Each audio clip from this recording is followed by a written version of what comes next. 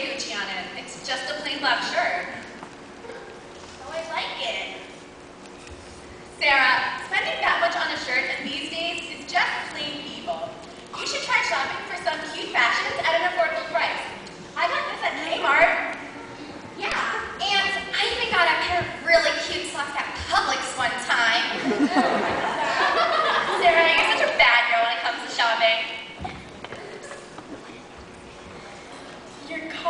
to.